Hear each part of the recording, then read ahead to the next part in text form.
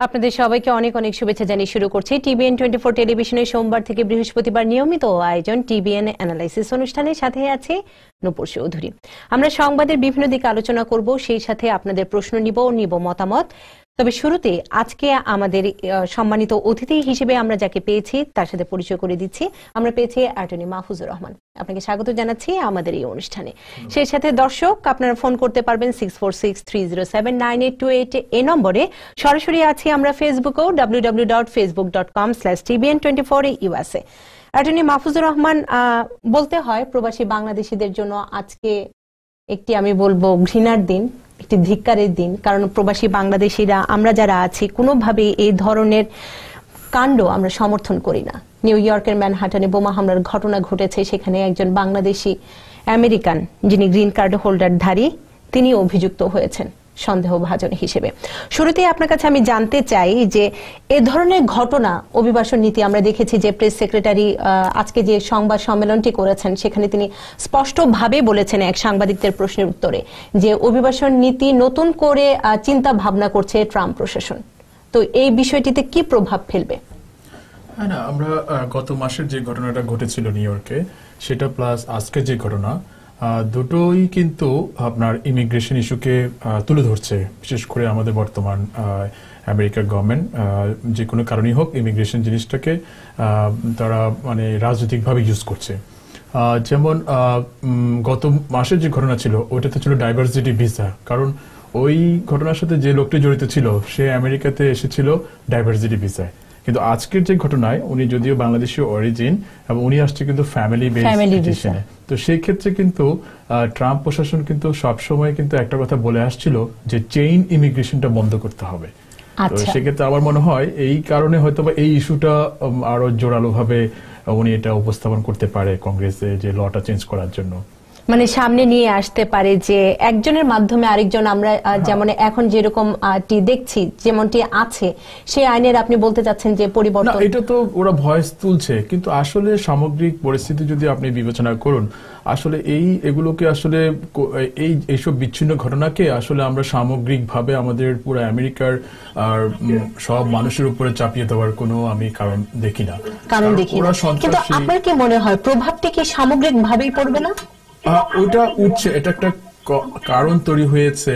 যেমন প্রেসিডেন্ট ট্রাম্পের বলা যেমন আগের বার উনি বলেছিল সরাসরি যে diversity visa is a beautiful is is a beautiful result বা ফর চাকসুমার সামথিং যেহেতু চাকসুমার এটার প্রবক্তা ছিল ডাইভার্সিটি ভিসা সিমিলার ওয়েতে হয়তো বা আমরা আজকে কালকের মধ্যে হয়তো শুনতে পারি যে এটা চেইন ইমিগ্রেশনের রেজাল্ট যেটা এই বাংলাদেশি এই একজন এটা এই কাণ্ডটা করেছে ফ্যামিলি বেসড কারণ ফ্যামিলি বেসড হচ্ছে চেইন ইমিগ্রেশনের একটাই অংশ। অংশ। আমরা আসব আমাদের সাথে। ফোনে একজন যুক্ত হয়েছেন। কে আছেন আমাদের সাথে? হ্যালো আসসালামু আলাইকুম। ওয়ালাইকুম আসসালাম। আমি মোহাম্মদ সুবেদ খান বলছি। জি কোথা থেকে? ওজন পার্ক থেকে বলছি। জি। আমি চাচ্ছি অ্যাটর্নি মাহবুবুর রহমান সাহেবকে জানতে চাচ্ছিলাম। আমি প্রায় আজকে তিন বছর হলো আমি অ্যাসাইলাম করেছি। তো আমি এখানে আমার ওয়ার্ক পারমিট সোশ্যাল সবকিছুই আছে। তো আমি জানতে চাচ্ছি মানে আমার কতদিন সময় লাগবে আমার যে দেশের আমি গ্রিন কার্ড হোল্ডার হতে পারব? আচ্ছা তিনি হচ্ছে তিন বছর ধরে এখানে আছেন। এবং অ্যাসালাম সিক করেছেন তার পলিটিক্যাল তার হচ্ছে সোশ্যাল সিকিউরিটি সবকিছুই আছে, আর কতদিন লাগবে। আর আমাদের এখানকার যে স্পিকার সেটি একটু বাড়িয়ে দিতে হবে, আমাদের সম্মানিত অ্যাটর্নি তিনি শুনতে পাচ্ছেন না। তো সে প্রশ্নের উত্তরে কি বলবেন? হ্যাঁ উনি অ্যাসালাম সিক করেছে, হয়তো যেটা হচ্ছে অ্যাফার্মেটিভ যদি অ্যাফার্মেটিভ হয়ে থাকে, তিন বছর হলে এতদিনে ইন্টারভিউ পেয়ে যাওয়ার কথা, আপনার ইউএসসিআইএস এ এখন এটা আসলে এটা একটা স্টেপ না এগুলো আরও অনেক ফার্দার স্টেপ আছে। যদি ইউএসসিএস এ ওনার ইন্টারভিউতে যদি পজিটিভ রেজাল্ট না আসে ওরা কেসটা ডিনাই করতে পারবে না। সেক্ষেত্রে ওনার কেসটা কোর্ট প্রসেসে চলে যেতে পারে। সেখানেও ওনার অনেক আপনার দু তিন বছর সময় লাগে। এরপর আবার আপিল প্রসেস আছে। তো নির্দিষ্ট করে বলা যাবে না যে কবে ওনার কেসটা শেষ হবে। কেসটা শেষ হবে। আরেকজন আছেন ফোনে আমাদের সাথে। কে আছেন আমাদের সাথে? হ্যালো আসসালামু আলাইকুম। আমি জুয়েল বলছি কুইন্স থেকে? জি ওয়ালাইকুম আসসালাম। জুয়েল ভাই বলুন। আমি আসলে আমার কোশ্চেন হচ্ছে যে নতুন ইমিগ্রেশন রিফর্ম যদি হয় তাহলে আগে যারা চেইন ইমিগ্রেশনের ব্যাপারে যারা অ্যাপ্লাই করছে ভাই বোন অথবা আত্মীয় স্বজনের জন্য তাদের কেসগুলো কি ক্যান্সেল হয়ে যাওয়ার চান্স আছে? নাকি যারা অলরেডি অ্যাপ্লাই করছে তারা তারা আসতে পারবে এবং নতুন করে যারা অ্যাপ্লাই করবে তাদের যে ক্ষেত্রে এটা কার্যকর হবে না। এরকম কি কিছু? আচ্ছা। আমি এই- ব্যাপারে জানতে চাচ্ছি। জি। হ্যাঁ খুব সুন্দর প্রশ্ন করেছেন। আহ, আগের যে একটা রিফর্ম এসেছিল টু থাউজেন্ড থার্টিনে ওবামা গভর্নমেন্ট আমলে তখনও কিন্তু আপনার চেইন ইমিগ্রেশনের একটা অংশ ভাই বোন অ্যাপ্লিকেশন কিন্তু আহ, বাইরে রাখার একটা আহ, পরিকল্পনা ছিল। সেই ক্ষেত্রে ওই পরিকল্পনা অংশ হিসাবে যতগুলো অ্যাপ্লিকেশন অলরেডি করা আছে, তাদেরকে কিন্তু ভিসা দেওয়ারই একটা অংশ ছিল।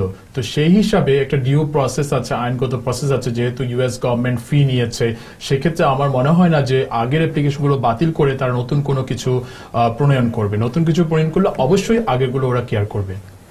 তার মানে আপনি বলতে চাচ্ছেন যে যারা এরই মধ্যে আবেদন করে ফেলেছেন, তাদের জন্য সমস্যা নয়। নতুন করে যদি কোনো আইন আসে, যারা নতুন করে আবেদন করতে যাবেন, তাদের উপরে সেটির প্রভাব পড়বে। হ্যাঁ আইনের একটা বিষয় আছে, সাধারণত মানে শব্দটা মনে পিছনের দিক থেকে সাধারণত কার্যকর হয় না। যদি কোনো আইন করে থাকে, তাহলে সেটা আজকে থেকেই কার্যকর হবে। দ্যাট মিনস আগে যারা অ্যাপ্লিকেশন করেছে ভাই, বোন এবং অন্যান্য আত্মীয় স্বজনের জন্য, সেই অ্যাপ্লিকেশনগুলো অবশ্যই তারা আপনার এন্টারটেন করবে। করবে। ফেসবুকে অনেকে আমাদের সাথে যোগ দিয়েছেন, এম রহমান শাখাওয়াত হোসেন, নিজাম মু- মুজাদ্দেক চৌধুরী তারা সবাই টিভিএন টোয়েন্টি ফোর টেলিভিশনকে ধন্যবাদ জানিয়েছেন। সেই সাথে নিজাম সাইদ একটি প্রশ্ন করেছেন। আমরা ফোনের প্রশ্নটি নিয়ে নিই তারপরে ফেসবুকের প্রশ্নটি করতে চাই। কে আছেন ফোনে আমাদের সাথে? হ্যালো আপা আসসালামু আলাইকুম। ওয়ালাইকুম আসসালাম। আপনি প্রশ্নটি করতে হবে। আপা আমার এক রিলেটিভ গ্রিন কার্ড দাঁড়িয়ে সে বাংলাদেশে বিয়ে করতে চায় তাহলে তার ওয়াইফ আনতে কতদিন সময় লাগবে? আচ্ছা। এখন যে প্রসেসিং টাইম যেমন ফর এক্সাম্পল গ্রিন কার্ডধারী তাদের স্পাউসদের ভিসা ডিসেম্বর টু থাউজেন্ড যারা অ্যাপ্লাই করেছিল, তাদেরটা ভিসা ইস্যু করছে। তো সেই হিসাব করলে আমরা দেখতে পাই দুই বছরের মতো লাগতে পারে। দুই বছরের মতো। নিজাম সাইদের প্রশ্নটি আমি করতে চাই। উনি বলছেন ওনার ওয়াইফ তার ভাইয়ের জন্য অ্যাপ্লাই করেছেন, আবার তার শাশুড়িও তার ছেলের জন্য অ্যাপ্লাই করেছেন। তো একজন ব্যক্তির জন্য যদি দুজন অ্যাপ্লাই করেন, কোনো সমস্যা আছে কিনা? হ্যাঁ এটা আমি একটা জিনিস পরিষ্কার করে বলে দিতে চাই যারা দর্শকরা আছেন এবং এই ধরনের প্রশ্ন প্রায় করা হয় মাল্টিপল ইমিগ্রেশনের কোনো বাধা নেই। যদি লিগেল ওয়েতে আপনি একই ব্যক্তির জন্য আপনার সেভারাল অ্যাপ্লিকেশন করতে পারে সেক্ষেত্রে কোনো বাধা নেই। যেটাই আগে আসবে সেটাই আপনারা ওটা প্রসেসিং কমপ্লিট করতে পারেন। পরবর্তীতে ইচ্ছা করলে পরের অ্যাপ্লিকেশনটা উইথড্র করে ফেলতে পারেন না হলে অটোমেটিক ওই অ্যাপ্লিকেশনটা বাতিল হয়ে যাবে। মানে এটিতে কোনো সমস্যা। আরেকজন আছেন ফোনে আমাদের সাথে যুক্ত হয়েছেন। কে আছেন আমাদের সাথে?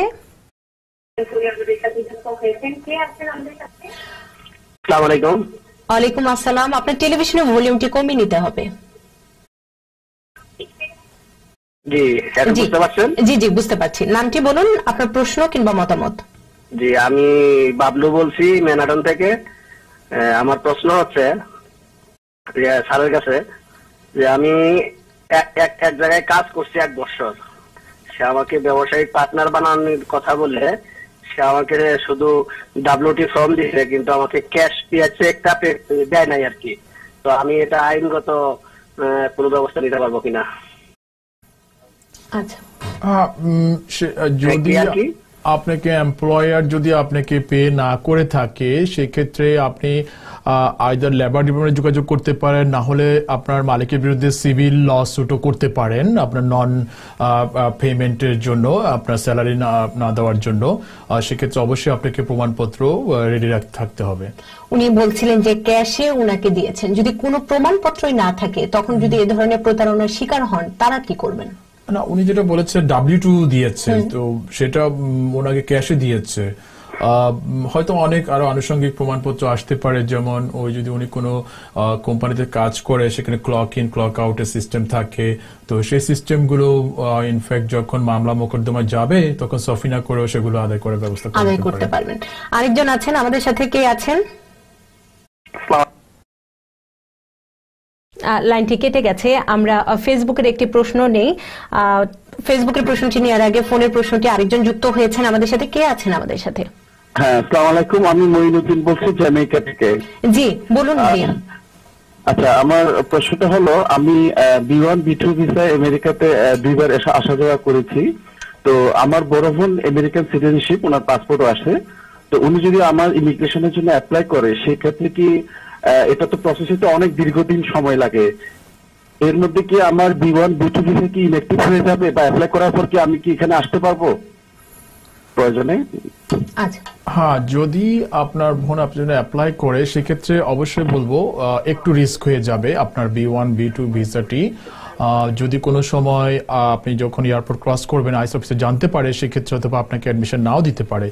এবং আবার অন্য ক্ষেত্রে যখন আপনি আবার ভিসা রিনিউর জন্য যাবেন, সেক্ষেত্রে যদি যখন ওরা জানতে পারে যে আপনার বোন আপনার জন্য অ্যাপ্লাই করেছে, সেটাও কিন্তু আপনার রিস্কে পড়ে যেতে পারে। কারণ এটার কারণটা হচ্ছে এই- ধরনের সিচুয়েশনে এমবিসি অথবা অফিসার কনসিডার করে যে আপনার ইন্টেন্ট টু ইমিগ্রেন্ট ইউএসএ যেটা কিনা আপনার কারেন্ট স্ট্যাটাসের সাথে এটা কন্ট্রাডিক্ট করে। কন্ট্রাডিক্ট করে। আরেকজন আমাদের সাথে যুক্ত হয়েছেন। কে আছেন আমাদের সাথে? আসসালামাইকুম ওয়ালাইকুম আসসালাম। আপু আমি আহ, বস্টন থেকে বলছিলাম। আমার নাম। জি আপনি প্রশ্নটি করুন। আমার শ্বশুর দুই হাজার এগারো আমার আম, আমার শালি এবং আমার শালা এবং দুই হাজার সতেরোতে, ষোলোতে উনি মারা যান। তো সেক্ষেত্রে কোনো অ্যাপ্লিকেশনটা কি ক্যান্সেল হয়ে গেছে? আচ্ছা এই ধরনের আরেকটি ফেসবুকে প্রশ্ন আছে, আমি একটু বিস্তারিত আপনার কাছ থেকে উত্তর নিব। তিনিও বলেছেন, রাসেল ভুইয়া তিনি বলেছেন ওনার ফাদার অ্যাপ্লাই করেছিলেন কিন্তু মারা গেছেন। তার ভাই এবং বোনের জন্য অ্যাপ্লাই করেছেন। তো এই পর্যায়ে কি করতে পারেন? এখানে টু থাউজেন্ড নাইনের একটা ল আছে সেক্ষেত্রে আপনার সাবস্টিটিউট অফ স্পন্সর করা যায়। কিন্তু আমাদের যে বাংলাদেশিদের ক্ষেত্রে যেহেতু beneficiary out of United States সেক্ষেত্রে ওই লটা অ্যাপ্লিকেবল হবে না। তো সেক্ষেত্রে ওনাদের যেটা করতে হবে হিউম্যানিটেরিয়ান রিকোয়েস্ট করতে হবে সাবস্টিটিউট স্পন্সর অনেক ক্ষেত্রে ইউএসসিএ সেটা অ্যাকসেপ্ট করে। আচ্ছা আরেকজন আমাদের সাথে যুক্ত হয়েছেন। কে আছেন আমাদের সাথে?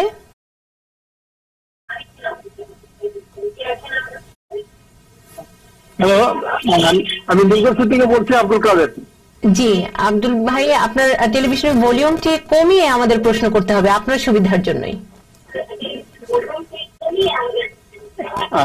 আচ্ছা থ্যাংক ইউ আচ্ছা আমি প্রশ্ন করব যে এই ভাইয়ের কাছে যে আমি দুই হাজার ষোলো সালে চব্বিশে এপ্রিল আমি আমার ওয়াইফের জন্য অ্যাপ্লাই করেছি। এবং আমার মেয়ে আছে সাত বছর বয়সে। এখন সেই ডেটটা কি পর্যায়ে আছে এটা একটু জানতে চাই এই আমার আপনি কি গ্রিন কার্ড কিংবা হ্যাঁ, সিটিজেন আপনি কি গ্রিন কার্ড হোল্ডার? ধারী না স্ট্যাটাসটি জানতে চাচ্ছেন? আমি জানতে চাচ্ছি আমি গ্রিন কার্ড হোল্ডার আচ্ছা আপনি গ্রিন কার্ড হোল্ডার ধারী জি। হ্যাঁ কাদের সাহেব প্রশ্ন করার জন্য ধন্যবাদ। আসলে যারা গ্রিন কার্ডধারী আহ, তাদের স্পাউসদের ভিসা ইস্যু করছে যারা কিনা ডিসেম্বর টু থাউজেন্ড ফিফটিনে অ্যাপ্লাই করেছিল। তো আপনি বলেছেন যেহেতু আপনি এপ্রিলে অ্যাপ্লাই করেছেন মনে হয় পাঁচ ছয় মাসের মধ্যে আপনি ভিসা সংক্রান্ত কাগজপত্র পেয়ে যাবেন ন্যাশনাল ভিসা সেন্টার থেকে। পেয়ে যাবেন আপনি। আরেকজন আমাদের সাথে যুক্ত হয়েছেন। কে আছেন আমাদের সাথে? হ্যালো সালাম আলাইকুম। ওয়ালাইকুম আসসালাম। আমি জামাইকা হিল থেকে। জি। আচ্ছা প্রথমে আপনার স্পিকারটি কি অন করা ফোনের? সেটি বন্ধ করে নিতে হবে। হ্যাঁ বন্ধ করে দিই। জি, এখন প্রশ্নটি করুন। আচ্ছা প্রশ্ন হলো গ্রিন কার্ড এখন একটা ছেলের সাথে বিয়ে হয়েছে ইসলামিক সরাসরি মতো কিন্তু ছেলে বি ওয়ান আসছে চার বছর যাব তার বৈধ কাগজপত্র নাই বর্তমান। তাদেরকে কীভাবে বৈধ করা যায়? পদ্ধতি বৈধ করা যায়। আপনি কি বুঝতে পেরেছেন? পুরোপুরি বুঝতে পারিনি কিন্তু মনে হচ্ছে যে গ্রিন কার্ডধারী কেউ কেউ কে মেয়ে তিন বছর এই দেশে আসছে। বি ওয়ান বি টু যার কিনা স্ট্যাটাস নেই বিয়ে করেছে। সেক্ষেত্রে আহ, সেক্ষেত্রে দুর্ভাগ্যবশত আহ, যার স্ট্যাটাস নাই উনি গ্রিন কার্ডধারীকে বিয়ে করে ইনস্ট্যান্ট অ্যাডজাস্টমেন্ট করতে পারবে না। ওনাকে অপেক্ষা করতে হবে যেন এই গ্রিন কার্ডধারী সিটিজেন হওয়া পর্যন্ত। আচ্ছা সিটিজেন হওয়ার পরে তিনি হ্যাঁ কারণ এখানে এখানে- এখানে বিষয়টা হচ্ছে অনেকের কাছে এটা একটু ইয়ে লাগে আপনার অ্যাম্বিগুইটি লাগে যে ইউএস সিটিজেনকে বিয়ে করলে হয়ে যাচ্ছে কেন না? একটু অপেক্ষা করতে হবে আমরা আগের প্রশ্ন উত্তর হচ্ছে দিচ্ছি গ্রিন কার্ডধারী হচ্ছে ওটা হচ্ছে ইমিডিয়েট রিলেটিভস না ওরা হচ্ছে ফ্যামিলি স্পন্সর ইমিগ্রেন্ট তো সেক্ষেত্রে ফ্যামিলি স্পন্সর ইমিগ্রেন্ট যখন ইউএসএ থেকে আপনার অ্যাডজাস্টমেন্ট নিবে তখন অবশ্যই তাদেরকে স্ট্যাটাস ধরে রাখতে হবে। সিমিলার আচ্ছা। ওয়েতে যেমন ভাই বোন জন্য এবং আপনার ইউএস সিটিজেন তাদের over twenty one years children এবং ইউএস সিটিজেন তাদের ম্যারিড চিলড্রেন তারা যদি এদেশে কেউ লিগাল স্ট্যাটাস নিয়ে থাকে এবং প্রায়োরিটি ডেট চলে আসে তখন তারা অ্যাডজাস্ট অ্যাডজাস্ট করতে পারবেন। আরেকজন আছেন আমাদের সাথে। এবং প্রিয় দর্শক আপনাদের সুবিধার জন্য বলে রাখতে চাই টেলিভিশনের ভলিউমটি কমিয়ে নেবেন এবং স্পিকারটি বন্ধ করে আমাদের প্রশ্নটি করতে হবে। আপনাদের সুবিধার জন্যই তাহলে উত্তরটি খুব সুন্দরভাবে পাবেন। কে আছেন আমাদের সাথে? হ্যালো সালাম আলাইকুম আপু আমি মায়ন বলছি। জি বলুন আপনার প্রশ্নটি। আপু আমার একটা প্রশ্ন আছে। এ, আমার একজন আইসুল আসছে ওই তো কি আসতে পারবে নাকি? কোনো জানা যাবে? আপনার প্রশ্নটি বোঝা যাচ্ছে না। আমরা সেই অনুরোধটি করছি যে আপনাদের সুবিধার জন্যই আপনারা যেন উত্তরটি সুন্দরভাবে পান। স্পিকারটি বন্ধ করে নিতে হবে। টেলিভিশনের ভলিউমটি কমিয়ে নিতে হবে। প্রশ্ন করার পর আবার উত্তরটি যখন শুনবেন তখন আবার টেলিভিশনের ভলিউমটি বাড়িয়ে নেবেন। আপনি কি প্রশ্ন কে আছেন আমাদের সাথে? আমার একজন জি। আঙ্কেল আসছে উনি ওই তো বাংলাদেশ থেকে ও কি আসতে পারবে না আপনার আঙ্কেলকে আসতে চাচ্ছে আমেরিকাতে সেটি আপনি জানতে চাচ্ছেন? হ্যাঁ। আচ্ছা। আমেরিকাতে আসার তো অনেক অনেকগুলো। আছে। উনি যদি বাংলাদেশে থাকে এবং উনি যদি ফাইন্যান্সিয়ালি সলভেন্ট হয়, অবশ্যই বি ওয়ান বি টু তে অ্যাপ্লাই করতে পারে। এবং ওনার যদি রিলেটিভস থাকে, আমরা জানি যে ভাই, বোন, আত্মীয় স্বজন, তারাও এই ছেলে মেয়ে, তারাও অ্যাপ্লাই করতে পারে। তবে ওনাকে বেস্ট হবে উনি কোনো লয়ারের সাথে যোগাযোগ করুক ওনার পার্সোনাল সিচুয়েশন দেখে ওনাকে একটা সঠিক অ্যাডভাইস করতে পারবে। সঠিক অ্যাডভাইস আরেকজন আমাদের সাথে আছেন। কে আছেন আমাদের সাথে? কে আছেন আমাদের সাথে? শামসুন নাহার বলছি নিউ থেকে। জি বলুন আপা। আমার কোয়েশ্চেন হচ্ছে আমি এইটে সিটিজেনশিপ নিয়েছি। নেওয়ার পরে আমার প্যারেন্টসকে অ্যাপ্লাই করেছি। তো আমার মা এখন সিটিজেনশিপের জন্য অ্যাপ্লাই করেছে। তো আমার দুজন বোন বিবাহিত তারা বাংলাদেশে আমি তাদের জন্য মানে অ্যাপ্লাই করার চিন্তা করছি। আমি করব না আমার মা করবে করলে আচ্ছা। তাড়াতাড়ি। তাড়াতাড়ি যদি ভেঙে গেছে প্রশ্নটা বুঝতে পেরেছি বুঝতে পেরেছেন যে উনি করবেন না ওনার মা হ্যাঁ, করবেন তার বোনের বিবাহিত বোনের জন্য। হ্যাঁ লুকস লাইক ইউএস সিটিজেন আর হচ্ছে ইউএস সিটিজেন মাদার মনে করেন ইউএস সিটিজেনের ব্রাদার সিস্টার ওয়েট করছে আসার জন্য। এখন ওনার প্রশ্নটা হচ্ছে কে অ্যাপ্লাই করলে তাড়াতাড়ি আসতে পারবে? আসতে পারবে। সেটা আনসারটা হচ্ছে আসলে দুইজনের ক্যাটাগরি খুব সিমিলার কাছাকাছি এক বছর ডিফারেন্স যেমন ইউএস সিটিজেন প্যারেন্টস তার ম্যারিড চিলড্রেন জন্য অ্যাপ্লাই করলে সেক্ষেত্রে আপনার এখন চলছে যেমন two thousand five September two thousand five এর অ্যাপ্লিকেশনগুলো ভিসা ইস্যু করছে। আর ব্রাদার সিস্টার ইস্যু করছে June two thousand four that means one year difference তো যে কোনো একজন করতে পারে, আমি কিছুক্ষণ আগে যেটা আলাপ করেছিলাম আবার দুজনও করে রাখতে পারে। ইনকে যদি কোনো কিছু হয়, কোনো পিটিশনের কোনো কিছু হয়, তাহলে আরেকটা পিটিশন সার্ভাইভ করবে সার্ভাইভ করবে এবং দুজনেরই অ্যাপ্লাই করে দেওয়াটা ভালো। প্রিয় দর্শক, আমরা প্রশ্ন নিব নিব মতামত, তবে এই পর্যায়ে সময় হয়েছে ছোট্ট একটি বিরতি নিবার। আমাদের সাথেই থাকুন। আপনারা দেখছেন টিবিএনএ অ্যানালাইসিস অনুষ্ঠানে। আমরা অভিবাসন নীতি নিয়ে কথা বলছিলাম এবং আজকের ঘটনার জের ধরে অভিবাসন নীতির কোনো পরিবর্তন আসবে কিনা সে বিষয়টিও আসছে। তবে আমাদের সাথে ফোনে একজন যেহেতু আছে আমরা প্রশ্নটি নিয়ে নিতে চাই। কে আছেন আমাদের সাথে? জি আসসালামু আলাইকুম। আমি জামাল বলছিলাম ব্রুকলিন থেকে। ওয়ালাইকুম আসসালাম। আচ্ছা আমার একটা কোশ্চেন হচ্ছে আমি সিটিজেনের জন্য অ্যাপ্লাই করেছিলাম মের পনেরো তারিখে সরি আট তারিখে। তো আমি জুনের জুনের একুশ তারিখে আমি ফিঙ্গারপ্রিন্ট দিয়েছি। বাট আমি ওরা বলছে যে উইদিন নাইনটি ডেজ এর মধ্যে আমি ইন্টারভিউ লেটার পাওয়ার কথা। কিন্তু এখন পর্যন্ত আমি ইন্টারভিউ লেটার আপনি, আমার কতদিন লাগতে পারে? জি। হ্যাঁ এটা আসলে নাইনটি ডেজের কথা যেটা বলেছে আসলে সেটা রেগুলার প্রসেস ছিল। ফিঙ্গারপ্রিন্ট থেকে নাইনটি ডেজ এবং সেটা রুলটা এরকমই যে এই কারণেই ছিল যে আপনি নাইনটি ডেজ আগেই আপনি অ্যাপ্লাই করতে পারবেন এবং within ninety days exactly five ইয়ার্সে অথবা এক্স্যাক্টলি তিন বছরে আপনি সিটিজেন হয়ে যাবেন আমেরিকার কিন্তু বর্তমান পরিস্থিতিতে যে কোনো কারণেই হোক আহ, প্রচণ্ড ব্যাকলগ ইমিগ্রেশনের কাছে আপনার সিটিজেনশিপ অ্যাপ্লিকেশনের সেটা টাইম টু টাইম ভ্যারি করে কিন্তু কারেন্টলি আমাদের এক্সপিরিয়েন্সে দেখা যাচ্ছে বেশ লম্বা সময় লাগছে সে থেকে সাত আট মাসও লেগে যাচ্ছে কোনো কোনো মানে এটি কি আপনি এই সময়ের জন্য স্বাভাবিক বলবেন? হ্যাঁ এটা এটা ওনাকে আরও কিছু সময় অপেক্ষা করতে হবে। আরও কিছু সময় অপেক্ষা করতে হবে। আরেকজন আমাদের সাথে যুক্ত হয়েছেন। কে আছেন আমাদের সাথে? আমি ইসলাম ভার্জিনিয়া জি আপনার প্রশ্নটি?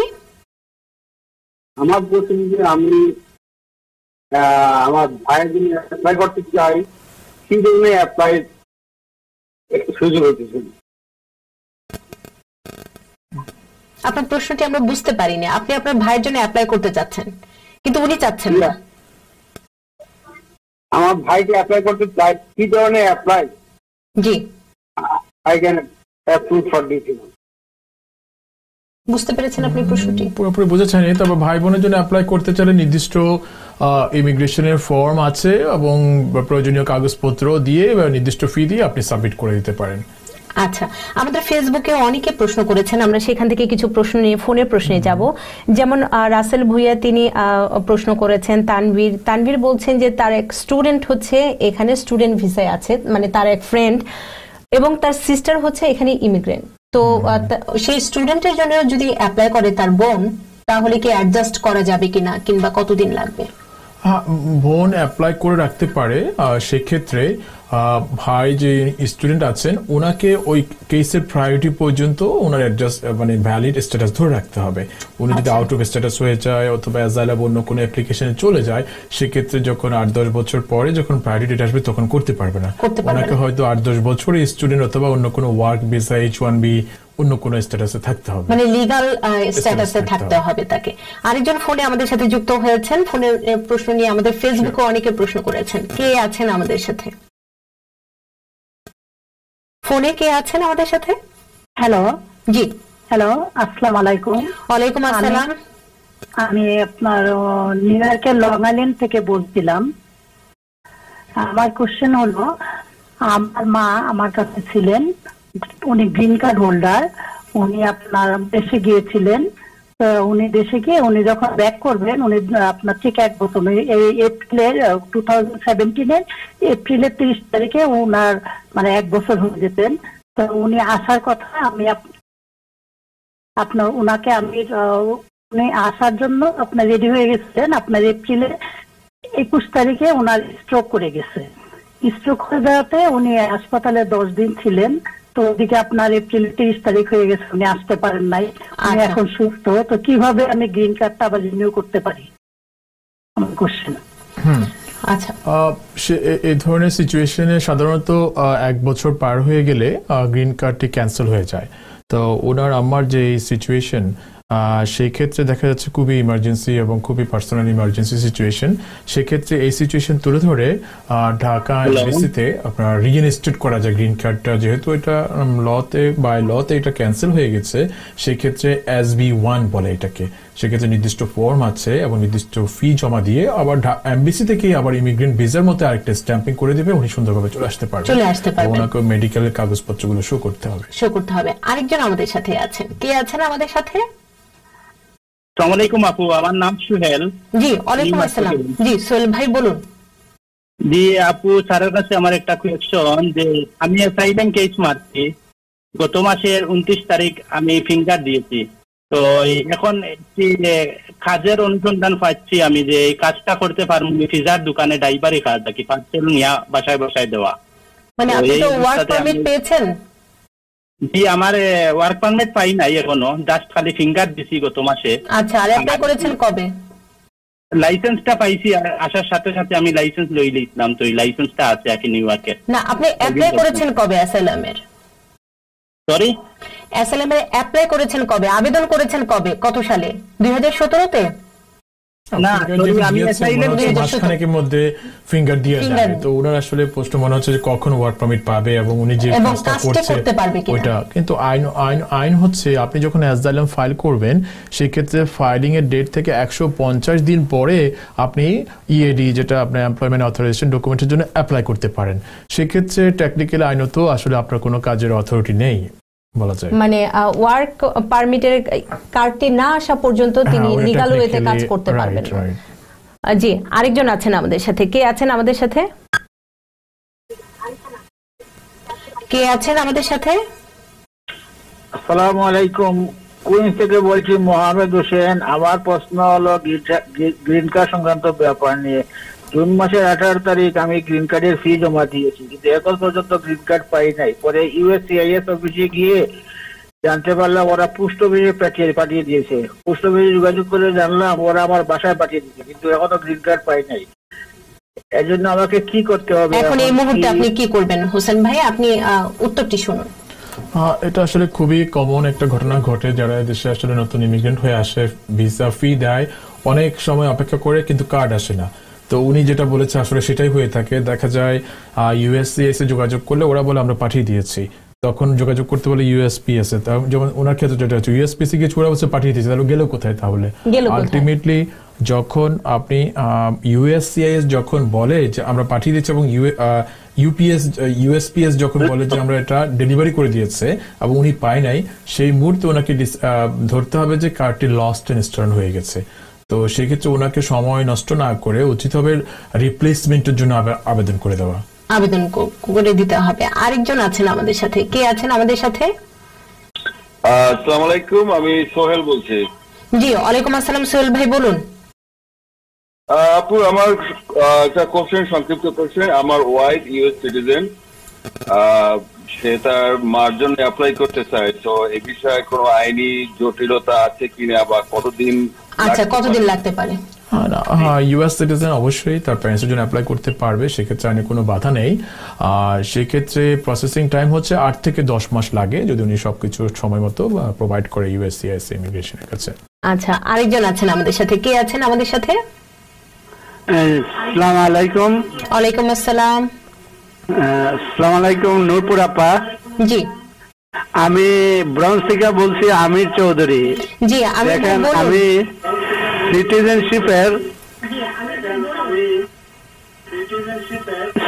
সিনিয়র সিটিজেনশিপের অ্যাপ্লাই করছিলাম আমি এক বছর আগে কিন্তু আমার তিরিশ তারিখে ইন্টারভিউ চিঠি আসছে কিন্তু আমি ইন্টারভিউ দিতে তিরিশ তারিখে গেছিলাম। কিন্তু আমি বলছিল আমাকে কিসে? আমি বলছি বাংলাতে দিব। তা আমি বাংলাতে সবকিছু মহস্ত করছি। কিন্তু বাংলাতে ইন্টারপ্রেটার ছিল না ওদিনকা তা এখন আবার বলছে যে আবার তোমাকে আমি চিঠি দেবো। এটা কতদিনের ভিতরে পাবো আপু? আচ্ছা অসংখ্য ধন্যবাদ। হ্যাঁ, সাধারণত এই ধরনের ক্ষেত্রে ওরা বলে থাকে দুই সপ্তাহের মধ্যে চিঠি পাবেন হয়তো মাসখানেক লাগে ম্যাক্সিমাম মাসখানেকের মধ্যে চিঠি পেয়ে যাবেন সেকেন্ড ডেটের আরেকজন আছেন আমাদের সাথে ফোনে। কে আছেন আমাদের সাথে ফোনে? জি সালাম আলাইকুম। ওয়ালাইকুম আসসালাম। জি আমি ওই আমি অ্যাটমিক স্টারের সাথে একটু একটা জিনিস আলাপ করতে দেখি। আর জি একটু ছোট করে বলতে হবে অনেকে আছেন ভাইয়া। আমি একটা কথা বলি ওই যে যারা এই যে এখানে যে বেসম্যানে থাকে যেমন মাটির নিচে সাত সাত ফিট নিচে এখন আমি দেখি অনেক ঘরে আমি ফাইভ ফিটারের কাজ করি টুকটাক। ফাইলটা যখন বেসম্যানে আগুন দিতে যায় তারপরে দেখি অটোমেটিক আগুন বাইরের দিকে আসে। আপনি কি বুঝতে পারছেন ওনার প্রশ্নটি? পুরোপুরি বোঝা যাচ্ছে না। বেসম্যানে বেসম্যানের ডোর দরজা এগুলো সব বন্ধ থাকে। আচ্ছা আচ্ছা বেসমেন্টে জি। যখন পাইলটে যখন আগুন যখন বেসমেন্ট আগুন দিতে যায় হিট চালায় ফিটের মেশিনে অনেক জায়গা থেকে অটোমেটিক আগুন আসে ফায়ার হয়ে তারপর যারা যদি বেসমেন্টে থাকে এটা যদি কোনো সময় আগুন ধরে যায় তাহলে কীভাবে আসবে? আগে পিছিয়ে দরজা বন্ধ ক্লোজ আচ্ছা। এটা আমি বলি এটা যতটুকু আমার নলেজ আছে সেটা হচ্ছে বেসমেন্টে কিন্তু আপনার বয়লার আছে না ওখান থেকে একটা কার্বন মনোক্সাইড নির্গত হয়। তো সেই ক্ষেত্রে কিন্তু আপনার অনেক এই নিউ ইয়র্ক স্টেটে কিন্তু অনেক ইনসিডেন্ট ঘটে যে সাইলেন্ট ডেট বলে একটা কথা আছে। অনেকে যারা থাকে বেসমেন্টে যদি কার্বন মনোক্সাইড ওর মাত্রাটা একটা নির্দিষ্ট পরিমাণ বেড়ে যায় অটোমেটিক কিন্তু অনেক সময় মানুষের মৃত্যু ঘটে। তো সেক্ষেত্রে কেয়ারফুল থাকতে হবে যারা বেসমেন্টে থাকে। অবশ্যই অবশ্যই বেসমেন্টের জন্য কার্বন মনোক্সাইডের যেটা ডিটেক্টর অ্যালার্মটা থাকে। অ্যাটলিস্ট ধরতে পারে যে সেটা একটা নির্দিষ্ট লেভেলের উপরে চলে গেছে। উপরে চলে গেছে। আরেকজন আছেন আমাদের সাথে ফোনে। কে আছেন আমাদের সাথে ফোনে? জি সালাম আলাইকুম। জি ওয়ালাইকুম আসসালাম। আমি ব্রুকলিন থেকে ফারুক বলছিলাম। জি ফারুক ভাই বলুন। জি আমার একটা প্রশ্ন হলো আমি দুই হাজার সিক্সে আমার ভাইয়ের জন্য অ্যাপ্লাই করছিলাম। তো পরে অ্যাপ্রুভ লেটার আসার পর থেকে এখন পর্যন্ত কোনো খবর নেই। আর কতদিন লাগতে পারে? তাই তো ভাইয়া? জি জি। আচ্ছা জি। হ্যাঁ ফারুক সাহেব পুস্তকের জন্য ধন্যবাদ। বর্তমানে যারা জুন টু থাউজেন্ড ফোরে ভাই বোনের জন্য অ্যাপ্লাই করেছিল তাদের ভিসাগুলো ইস্যু করছে। তো আপনি যেহেতু টু থাউজেন্ড সিক্সে অ্যাপ্লাই করেছেন আমার মনে হয় দুই থেকে আড়াই বছরের মধ্যে ভিসা সংক্রান্ত কাগজপত্র পেয়ে যাবেন আপনার ভাই বোনের জন্য। পেয়ে যাবে। এবং সেই সাথে দর্শক আমরা একটু বলে রাখতে চাই আজকে আমরা একদম অনুষ্ঠানের শেষ পর্যায়ে চলে এসেছি সেহেতু আমরা ফোনের প্রশ্ন আজকে আর নিতে পারব না। আগামীকাল ঠিক একই সময়ে আমরা এই অনুষ্ঠানটি নিয়ে হাজির হব। আমাদের শেষ প্রশ্নটি এখন নিচ্ছি। নেওয়ার পরে আমরা ফেসবুকের প্রশ্নটি নিব। লাইনটি কেটে গেছে। আমরা ফেসবুকের কয়েকটি প্রশ্ন আছে। সেটি মাহফুজ ভাই বলতে চাই। প্রশ্ন করেছেন উরফা জাহান তিনি গ্রিন কার্ড হোল্ডারধারী এবং তার হাজবেন্ডের জন্য অ্যাপ্লাই করেছেন দুই হাজার পনেরো সালে। চার মাস হলো। এখন সব ডকুমেন্ট দিয়ে দিয়েছে। আর কতদিন লাগতে পারে? পনেরো সালে ডিসেম্বর টু থাউজেন্ড ফিফটিনে কেসগুলো যদি ভিসা ইস্যু করছে আমার মনে হয় অতি সত্ত্বে উনি ইন্টারভিউ ডেট পেয়ে যাবে। পেয়ে যাবেন। মোহাম্মদ প্রশ্ন করেছেন তার বোন তার জন্য অ্যাপ্লাই করেছে দুই সালে। কতদিন লাগতে পারে? বর্তমানে চলছে জুন টু থাউজেন্ড ফোরের অ্যাপ্লিকেশনগুলো ভিসা ইস্যু করছে ভাই বোনের অ্যাপ্লিকেশনের ক্ষেত্রে। নাইন আমার মনে হয় পাঁচ, ছয় বছরের মধ্যে প্রায়োরিটি চলে আসবে। আরেকজন প্রশ্ন করেছেন, জাহানারা মজুমদার, তিনি তার ভাই বোনের জন্য অ্যাপ্লাই করেছেন দুই হাজার সাত সালে। কিন্তু যখন তিনি অ্যাপ্লাই করেছেন, তখন তার বোনের হাজবেন্ডের নামটি ভুল করেছিলেন। এখন কি করবেন? এই- ধরনের সিচুয়েশনে অলওয়েজ আপনি নাম ডেট অফ বার্থ এগুলো সব সময় আপনি কারেক্ট করতে পারবেন প্রপার ডকুমেন্টেশন সাবমিট করে। আপনি চাইলে এখনও ন্যাশনাল ভিসা যদি কেসটি অ্যাপ্রুভ হয়ে থাকে ন্যাশনাল ভিসা সেন্টারে যোগাযোগ করে ওনার পাসপোর্টের কপি অথবা বার্থ সার্টিফিকেট কপি প্রোভাইড করলে ওরা এটা আপডেট করে নেবে রাসেল ভুইয়া একটি প্রশ্ন করেছেন, তার ভাইয়ের জন্য অ্যাপ্লাই করেছিলেন এবং অ্যাপ্রুভ হয়েছে ছাব্বিশ অক্টোবর এবং এনভিসিতে সেটি ব্যাক করেছে এবং স্পন্সরের নামও ই করেছে। এখন কতদিন আর লাগতে পারে? যদি যেহেতু স্পন্সরের কথাটা বলেছে দ্যাট মিনস প্রায়োরিটি ডেট চলে আসছে কাছাকাছি, হয়তো পাঁচ ছ মাসের মধ্যে ইন্টারভিউ পাবে। এবং সেই সাথে দর্শক, আজকে আমরা অনেকের প্রশ্ন নিতে পারিনি। ফেসবুকে অনেকে প্রশ্ন করেছেন, আম- আমাদের অনুষ্ঠান একদম শেষ পর্যায়ে। সবশেষ অ্যাটর্নি মাহফুজুর রহমান, এই ধরনের ঘটনা, অনাকাঙ্ক্ষিত ঘটনা, সেই সাথে অভিবাসন নীতিতে। আপনি বলছিলেন প্রভাব ফেলতে পারে, বিশেষ করে যেহেতু প্রেসিডেন্ট ডোনাল্ড ট্রাম্প সেই নির্বাচনের আগ থেকে অভিবাসন নীতিটি পরিবর্তনের ইঙ্গিত দিচ্ছিলেন, বলছিলেন বারবার। এবং আজকেও আমরা দেখেছি প্রেস সেক্রেটারি সারা স্যান্ডার্স হাকাবিও সে একই কথা বলেছে। তো কতটা নেতিবাচক অভিবাসনদের জন্য নীতি আসতে পারে আপনার মনে হয়? না, সেটা আমি বলব যে ঘটনাটা ঘটেছে খুবই দুঃখজনক বিশেষ করে আমাদের কমিউনিটির জন্য। আর অভিবাসনের বিষয়টা, এটা একটা রাজনীতির অংশ আমি বলব। যে আমাদের ওয়াশিংটন একটা পলিটিক্সের অংশ, তারা সবসময় কিন্তু বর্তমানে যে এই বিষয়টাকে তারা তাদের পলিটিক্সে ইউজ করার চেষ্টা করছে। আর যেটা হচ্ছে যে আমাদের স্পেসিফিকলি যে ঘটনার বিষয়ে আমাদের কমিটি যেহেতু ইনভলভ হয়ে গেছে, আমার মনে হয় আমাদের কমিটির অবশ্যই অ্যালার্ট থাকা উচিত। কিন্তু দিন দিন আমাদের কমিটি অনেক বড় হচ্ছে। সেই ক্ষেত্রে যারা আমাদের কমিটির লিডার আছে সেক্ষেত্রে একটা অ্যালার্টনেসও কিন্তু করতে পারে। যে এই ধরনের যে সিচুয়েশনে যদি একটা এসে গেছে, আমার মনে হয় আরও অনেক কিছু সুপ্ত থাকতে পারে। যেন কারও মনে যেন এই ধরনের কিছু না থাকে, পাশাপাশি আমাদের মস্ক এবং আমাদের বিভিন্ন সমাবেশে কিন্তু এটার অ্যাগেনস্টে কিন্তু একটা সচেতনতা তৈরি করতে পারে। তার ফলে এই ধরনের ঘটনা আমরা কখনো আশা করতে পারব না।